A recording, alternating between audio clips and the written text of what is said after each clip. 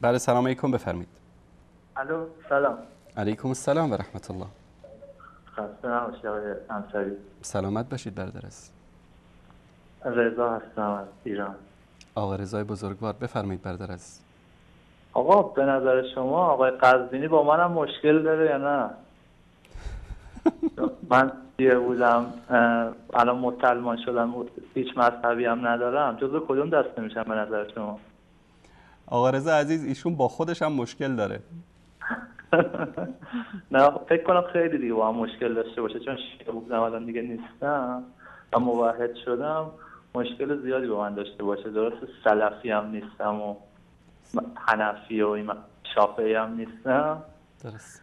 فکر کنم دیگه خیلی بد بشه براش. شماها رو که دیگه.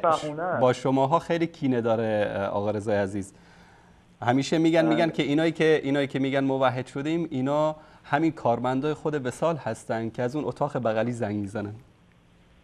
درسته. پس ما تو زندانیم اینا ملت همینطور زنگ می‌زنن میگن اشهد ان لا اله الا الله. ما تو زندانیم اینا میگن. توجه نکنید شما با قدرت راهتون رو ادامه بدید. واقعا مسیر رو دارید درست میید وقتی اینا عصبانی میشن. درسته رضا جان. بفرمایید در خدمت شما هستم. تشکر می‌کنم از برنامه خوبتون. کلیپ های آگاه کننده ای رو پخش می‌کنید. ممنونم. زنده باشید رضا جان. الله مطالب کنه. خدا نگهدار.